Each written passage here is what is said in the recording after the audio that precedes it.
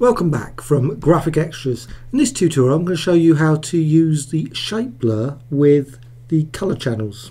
And I'm going to go to Photoshop. Now you could use it in CS6. I'm using CC but uh, so just going to go over to there.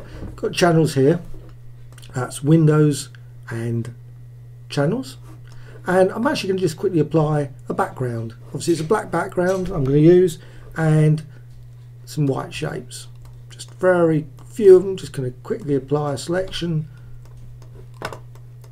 Across the background. Of course you could apply anything. You could actually have uh, an image here or uh, maybe uh, text. That's another way of doing it. With make or maybe crisscross of lines a grid etc that's another good interesting design. Well anyway I'm going to go to the red channel now. Just going to select that. So that's just the red channel now. I'm going to filter blur and shape blur and the shapes I'm using are from Graphicxtras.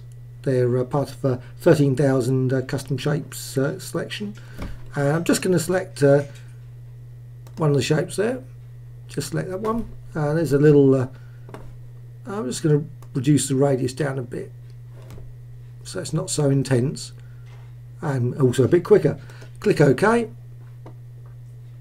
Right, already you can see the lines. Now, of course, you'd see the lines of this uh, if you were using the RGB, but uh, now you've just got it on the red channel. So if you go back to the green, obviously you've still got it the same. And now I'm going to do the same sort of thing with this.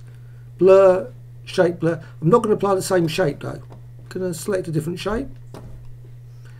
And it's very much trial by error, trial and error because obviously you can see the uh, over here what the end result, but you can't actually see it particularly easily, but just going to click that. There's another interesting sort of blur effect using the shape blur. Now I'm going to go to the blue, filter, blur, shape blur, and I'm going to go select a different one. Just going to go down a bit, and I'm going to select that one. Click OK.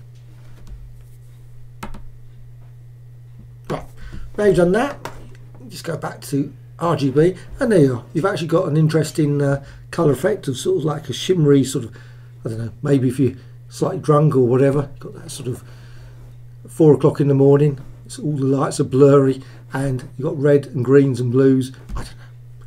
But uh, that's I think of course you can actually extend it further. You can actually now go to image adjustments.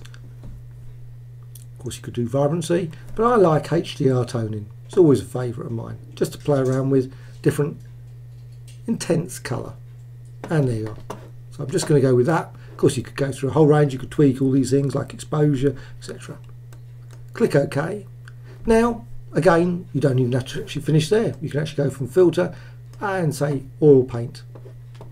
And quick way of some very colourful dabs of reds, greens and blues using the shape blur and channels.